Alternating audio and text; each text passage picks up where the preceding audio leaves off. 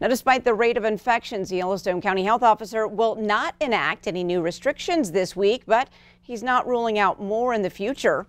Yellowstone County Health Officer John Felton hinted on Monday that new orders may be on the way, but said in a press release this afternoon that while the situation is still very serious, officials will wait on one more week of data.